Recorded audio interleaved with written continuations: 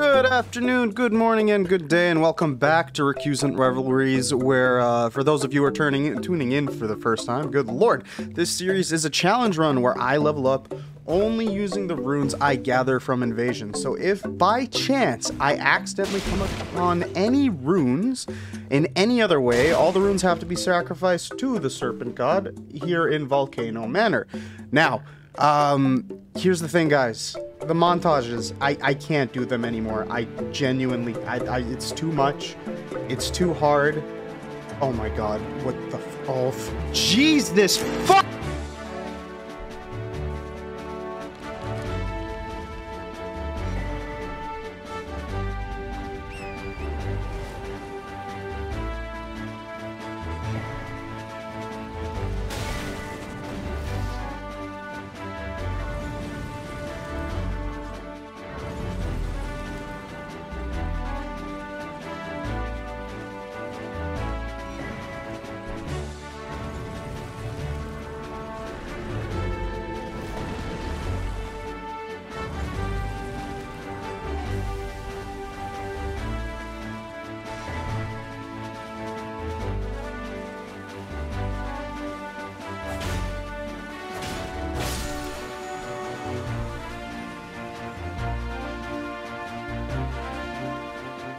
Round one. Fight!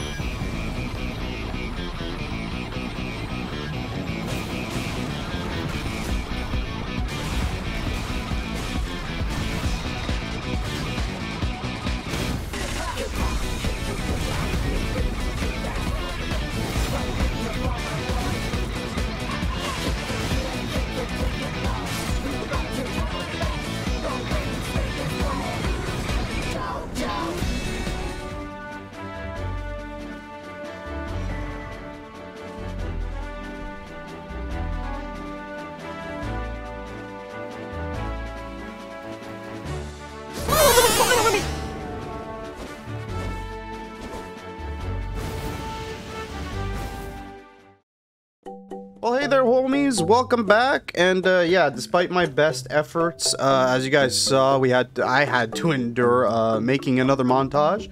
But that being said, uh, the build is slowly coming together. Uh, it's starting to make more sense. Uh, you know, we're here, but we still have a very long way to go before being done. Anyways, here are the next invasions, and I hope you guys enjoy the rest of the video. Take care. See you later. All right, so here we go. Um, you might be wondering, hey Buppo, why am I hearing Skyrim music? And also, hey Buppo, why was this transition so, um, not smooth? Well, let me tell you. Um, I'm a silly goose. I'm a, I'm a fucky duck, okay? I'm an absolute dumbass. I literally started invading and not only did I forget to turn the music back on in the game to have, you know, ambient uh, invasion music, I forgot to record the first invasion. And you're not going to believe the first invasion now that I'm going to recount it to you. Now, the only proof I'm going to have of being capable of doing the first invasion is going to be the last invasion in the video, so uh, stick around and see how the first invasion kind of played out through how the last invasion went because they were very, very similar. The key difference being the first invasion had two overleveled phantoms. Now they weren't super crazy overleveled. Both phantoms plus the host, so all three of the, the little gang squad there, had given me about 10k runes and I only use them to upgrade my weapons. So like my character isn't any stronger per se. Both of these weapons are plus two. I bought the upgrade materials from EG uh, kind of as a punishment for realizing I forgot to fucking hit record.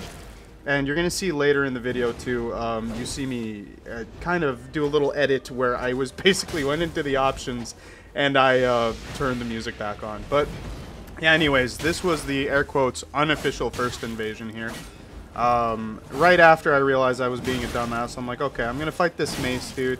And uh, you guys are going to see, today the theme is toxicity in Elden Ring. now, don't get me wrong, my build's super fucking toxic right now. The current state of this build is not the final product, so do not think I will run this through the whole game, but I need I need this right now to farm. I need the levels, alright? I'm going to justify it. My toxic way of playing is going to be this, but here's the problem. If you play Toxic, you get treated Toxic. He disconnected. I get, not only do I not get a rune arc, I don't really care for the rune arc, I also don't get any runes. That's bullshit. How am I supposed to level up if motherfuckers keep disconnecting on me? Oh, man. Alright, so then we go into this next invasion, and a uh, little gang squad of two here. Um, I skip all the parts where uh, it's just running around. Well, I mean, it's going to be a lot of running around. So these guys, these guys right here, not toxic per se, but these lads are sweaty. And look, look, look. Not they're not bad at the game, not at all. They are not bad at the game, but they do not want to lose, which is fair. Neither do I. But my goal isn't to gank. I'm not I'm not doing this necessarily to like, you know, just win. I need the levels. I need these guys dead because I need the levels. So, I'm looking at the mage. He doesn't have too much health. He's not too much to handle, but he is strategically throwing out those spells. He's waiting until I roll, and he's genuinely trying to roll catch me with that. And that's why I'm behind this tree, because I realized that. I'm like, oh, fuck. Meanwhile, his friend, he's absolutely protecting the mage. He's not actually fighting me, because look how passive he's being. He's there to fight me and attack me only when I engage the mage and if I get too close. So I have to strategize and think, what do I do? I'm getting spell spanned and I don't have Carian Retaliation yet. If I did, I could have used that to my advantage, but I don't.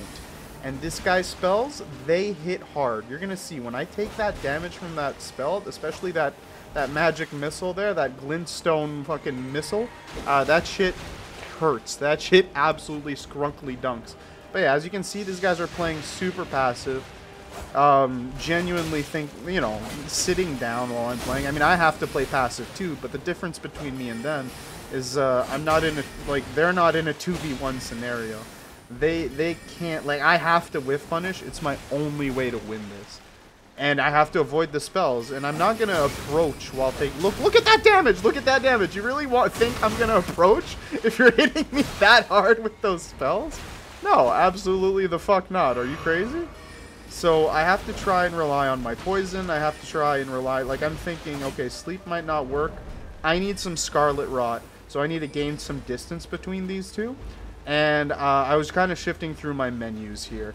So this is me shifting through my menus. We're going to edit away from that because I just basically ran away to do it proper. And I came back. And look, they didn't chase me down. They could have killed me the whole time I was going through that menu. But like I said, their strategy is passivity. Um, not necessarily a bad thing, but it is rough. And it's also the fact that, like, these guys are gank squatting.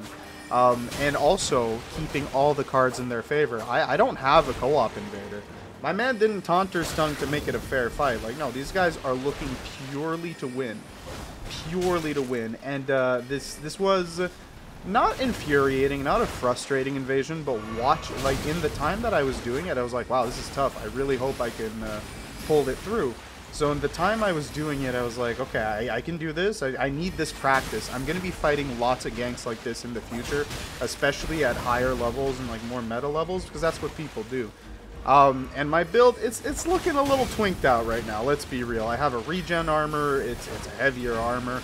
Uh, I have uh, you know Scarlet Rot. I have sleep. I have poison. Like I have the tools of the scum. Okay, I do. But again, I believe I am justified in my use of these tools simply based on the fact that like I'm doing it to level up. It is a challenge run. And I'm not bullying new players, like I'm fighting these guys, right? Like I take on every challenge that's presented to me and I'm trying to show this as unfiltered as possible. So that first invasion that we missed breaks my heart because I, I wanted it in the video. It was a good fucking invasion. It was actually the best invasion of my whole night, and uh, I, I'm really saddened that I couldn't show you guys that. But that being said, like the last invasion, honestly, I'd argue is almost as good. Almost just as good. It went pretty well. In fact, most of the invasions tonight went really, really well. But these guys, man, they were tough. They were tough. I had to pull everything in my arsenal to try and get them. And right here, I'm like, oh shit, I'm fucked.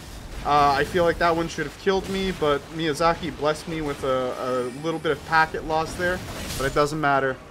And uh, yeah, this is where I get pointed down at by uh, the Phantom wearing heavy armor and a broadsword. Kind of silly to me, but it is what it is. We'll get him next time, boys. Speaking of next time, oh baby, is that the homie who disconnected from me earlier? All right, well I got a cool hat and I got a sleep sword. Let's see how this fight plays out this time.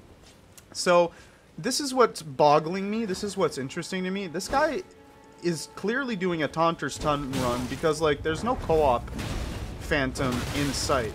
So, like, he's using the Taunter's Tongue. He's intentionally wanting to be invaded. So I'm like, okay. Well, I figure this guy's probably looking to, like, you know, actually have a fight. So he's he should expect, especially at this low level, for invaders to come in and have builds that uh, are, are tough to deal with, right? And that's what I've got. I've got a build that's very tough to deal with. I've got Poison, I've got Scarlet Rot, and I'm going to I'm going to spam until he gets status affected. I also have Bleed on the Scarlet Rot Rapier only because I haven't upgraded it yet, so it's my only source of damage with it. But uh, right here, he disconnects again, and I'm like, okay, I know Scarlet Rot and Poison is a death sentence at this level, but like, I'm level 30 plus right now. This isn't like level 10. This is level 30. What the fuck is going on? Why would you do a Taunter's Tongue run if you're just going to disconnect every time you lose anyways? I mean, that's twice in a row. That's the same guy from the start of the invasions here. Waste of time. Waste of time. Also, hey, look, an invisible phantom. Not cheating, just a glitch. Okay, I want this to be clear. I, have read it up. I've uh, looked up um, other, uh, you know, top YouTubers' opinions on this, and it turns out um, there's a bit of a disconnect. Uh, it's an Elden Ring server problem, so uh, instead of lag, what you get is an invisible phantom. And as you can see, this uh, disconnect was probably not intentional. It was just bad connection altogether, and the uh, invisible homie, you know, was probably causing issues on the server there. But uh, this guy's pretty cool. My, my, man Wolverine over here, no idea what his name is. Like, try, try something. I, I can't read.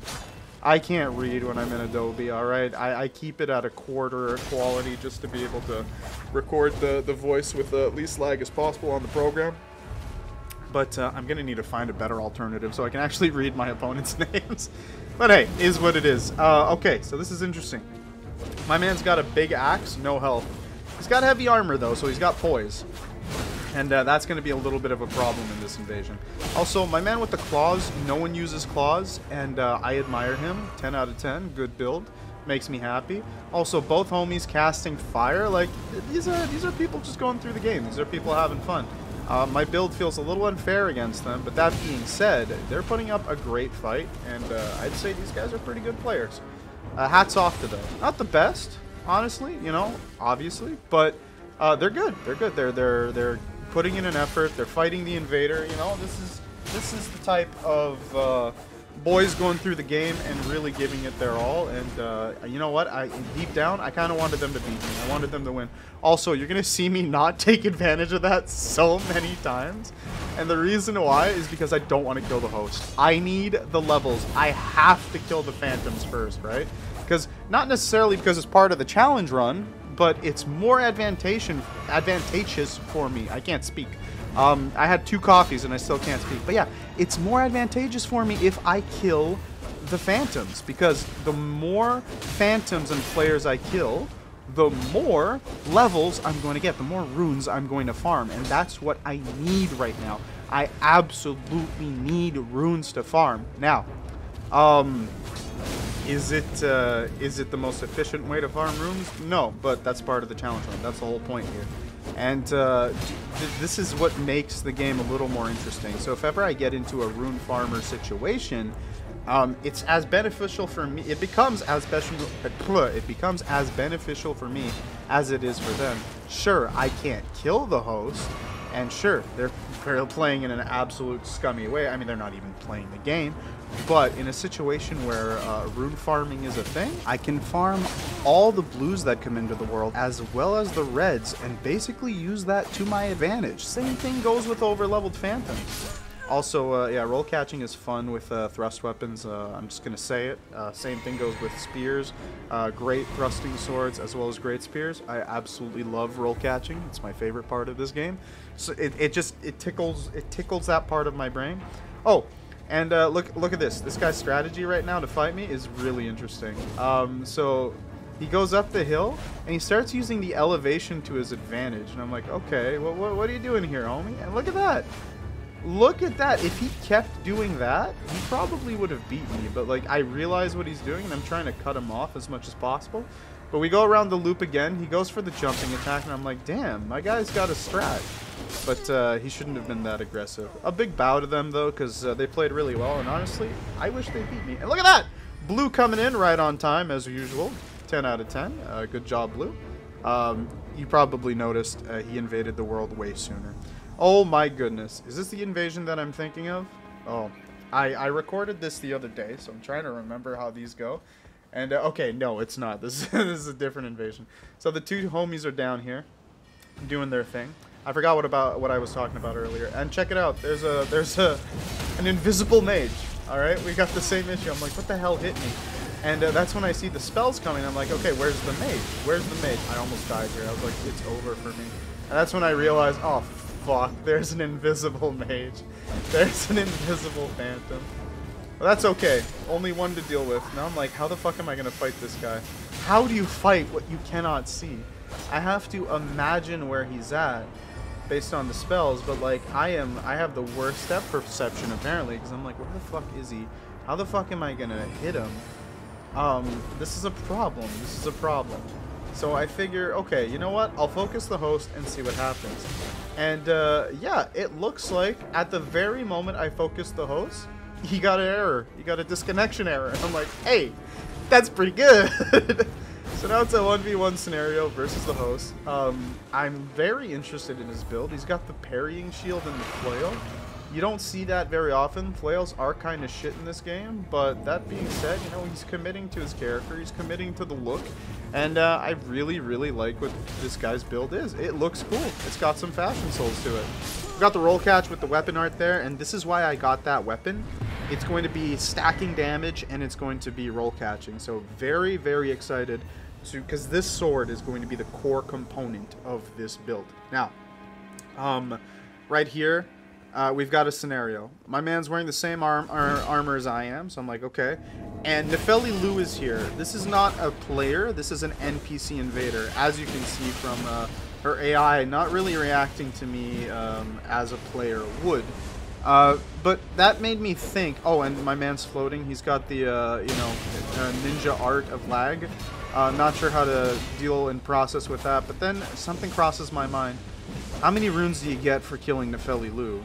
Because clearly she's stacked like an overlevel phantom. Like beating her would probably net me a bunch of runes. So I stopped focusing the host here, and I am now absolutely you know, on a mission to kill Nepheli, but here's the problem. Nepheli can do that, which costs a lot of health. It is very scary, and I'm like, okay, how am I how am I gonna do this? Well, we have to get her poisoned, we have to get her rotted. I thought I was dead here. We have to get her poisoned, we have to get her rotted, and maybe we can make her bleed. So whatever the host is doing, I'll let him do. I guess he's trying to summon someone else for help or something. But uh, me and the giant, uh, we're, we're after Nepheli Loux. We want her soul. We want her. We want her dead. Um, this is my opportunity. And here we go. Can I make her bleed? Can I make her rot? Oh man, we are so close. Now the host is like, okay, Nepheli's in horrible danger. I need a helper. She's out of healing though, so you know what? This this is my opportunity. This is my chance. So I am focusing Nepheli, and the host was such in a bad situation. He got absolutely murdered by um, uh, the giant. But we got Nepheli and no runes for it, so that kind of sucks. Also, I hope you guys noticed that Rope Snake cameo. Rope Snake, uh, longtime friend of the show. Uh, love this homie. Uh, hope he's doing well. Shout outs to Ropey. Uh, anyways, uh, going back to this. Um, this guy's build was interesting. Uh, great Lance build.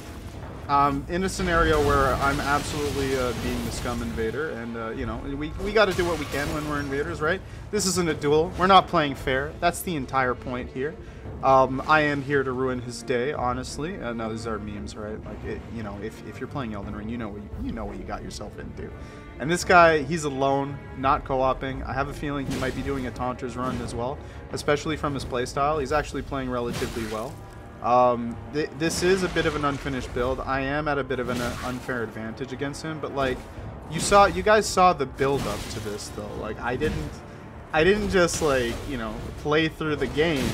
Uh, I played through the game at low level. I played through the game with, um, you know, only the runes that I gained from uh, you know, doing invasions. So I'm not at necessarily at an advantage here in the grand scheme of things, but I am an, at an advantage in this fight. And uh, that's my goal now. I want to poison, well, not, not, not to be at an advantage, but my goal is now to poison and rot people and watch them wither away, because I love status builds. I always have, always will. I used to run a status build in um, Dark Souls 3, uh, especially for my uh, swamp um, invasions. Because that's all I did in Dark Souls 3, honestly. Most of my PvP was in the swamp. I love that gank swamp. I love fighting gank squads in the swamp. It was it was so gritty. It was so fun. And uh, yeah, as I mentioned in the last video, these invasions kind of remind me of that time. I don't know at what level this feeling is going to change, but uh, good, the good times were then. The good times were then. And uh, yeah, I'm trying not to rely too hard on bleed for this build. I'm really trying to rely on all the other status effects. And uh, it's working out great for me, especially at this point in time. With the plus 2 Somber weapons and level 30, I'm going to be bringing them to plus 5 before I uh, hit the level 50 cap. I am, uh, for those of you who are wondering, it's like, well, Buppo, how are you how are you like matching your levels to your weapon level for the evasion range? I have been following Ouroboros guide. Ouroboros posted a video about this and what the uh, his general like, and this this was well researched. I do trust his uh, opinion on it, and uh, it was collaborated with other like creators and members of the community. So I think it's a really good resource, and I might post a link in the description for you guys, or maybe a comment. Uh, you know, if you guys want it, uh, let me know, and I'll post it somewhere in this video or somewhere, you know, in our community so you guys can have access to that information as well. But yeah, I matched his uh, invasion chart range essentially, and I've been using that for um, making this build and making sure that uh, I still get invasions um, throughout the game. So technically, my weapons are underleveled. I'm not doing enough damage based on that uh, on that charge. And as I say that, I chunk this man for um, a lot of damage. But that's the thing. Um, the builds that I'm going against, most of the time, they're not finished. This is still the start of the game, right? So the enemy, like I'm in Stormveil Castle, so my enemies are not necessarily going to be optimized. They're not necessarily going to be fighting at an advantage. And I'm using all the knowledge and tools that I know to stay as optimized as possible throughout the entire making of this series. So currently, this is an unfinished build, yes, but it's as good as it can be until I get to that point. So I think the build is actually going to really start to shape up and start looking more like its final product. I'm assuming around level 50 when I'm going to be able to actually cast spells and stack damage with talismans on top of um, the, the Regalia of Eochaid, I believe is the actual name of the weapon. I may have actually gotten it right this time. But uh, to keep things simple, I'm going to call it the Red Spin Straight Sword, because that's a funnier name to me. And yeah, we're going to be using the red spin uh, straight sword. And then we're... Oh, this that was my favorite finish, by the way. That was dope as fuck. You cannot lie. That was not like a cool finish to a fight. That was dope as hell. Okay? Alright. Glad we all acknowledged that. 10 out of 10. You know, pat on the back. Uh, moving on to the next invasion. So Stormveil Castle, once again. It seems that all my invasions at level 31, I believe my character is. But yeah, level 31, uh, we're going to be bringing them up to level 50 because of the um, weapon range up until when we get plus 6 somber weapons, plus 6 to like plus 8, I think it's going to be 50 to 80 plus or something like that. But right now we are we only have plus 2 weapons. We are only level 31 or 33, something like that. Hey, we got another cameo jumping in. Um, I forgot to turn off Steam while I was playing this, or Steam notifications. So you guys are going to have to bear with me on that one. But uh, yeah, so uh, the build is as optimized as it can be. Um, it's not overpowered. I'm not one-shotting people, but um, ever since the update where uh, damage for PvP is separate from damage for PvE, I've found a lot more success in my invasions. I, I genuinely have. It's grittier, the fights are longer, the fights are better. You actually have to engage with the mechanics of the game. And uh, I don't know, just made me feel better of not being uh, constantly one shot all the time. I mean, it, it still does happen from time to time, but that's when you have like the host with his Phantom who uh, is in New Game Plus 7, and he's just helping his buddy out through the game. Anyways, here it is, guys. The final invasion of the video. The invasion that looked very similar to the first one. The first one was in Stormveil Castle. It was outside the gates. But uh, this one, this last one, seems to be in the other place where I keep getting invasions. In this specific room. So we're in a 3v1 scenario. Uh, the gang squad is running different weapons. A thrusting sword, a spear, and um, shield. Thrusting sword man is done. We got lucky with uh, our little um, NPC friend. And now uh, Great Sword Man is about to fight. He's doing his thing. Um, almost got him there. That was a clutch heal from my Great Sword homie there. But uh, also, I, almost, I wish that would have hit. That would have been a finisher too. But here we go. Oh, and if you guys are wondering, Buppo, why are you doing so much damage when you use uh, jump attacks? It's because I have the Claw Talisman. So I have that talisman that gives you a jumping attack damage. Also, I thought I, I was doing the Sleep Sword attack there. Uh, and instead, my brain just stopped as I was charging the, uh, the Red Spin Sword. And I'm like, hold on, what's happening? And uh, here, this is what I was actually trying to do. So, uh, yeah, look at this. These invasions are gritty. They're fun. Um, my man could be using a bit more health. Uh, this guy's using the shield poke very well to his advantage. Uh, nothing wrong with that in my opinion. He's not doing it in a toxic way. I think it is just genuinely his playstyle, and he's mixing it up too, so he's playing well. And again, I broke the shield stance. I could have gotten the crit, but that's not what we're going for. That's not what we need. We need this fucking Phantom dead. Finally, the Phantom goes down. Okay, so here we are. Shield Man. He's got it up. He's ready. He's in the 1v1 scenario. And uh, I like to play with my food, so here we go. Because he hides behind that shield a lot, I'm going to poison him. I'm going to make him suffer slowly. So we got him poisoned, and now it's time for the Scarlet Rot. We are, we are giving him a slow and painful death sentence. He is desperate. He's going for the fairy shield, and I'm not going for those crits. I'm being cruel this time. And we kill him with the poison Scarlet Rot. 10 out of 10. Hope you guys enjoyed this. But uh, yeah, that's all we the time we had for today. And uh, remember to like and subscribe. Take care. Subscribe to Big Buppo's YouTube. You must. Or tickle your toes. I will.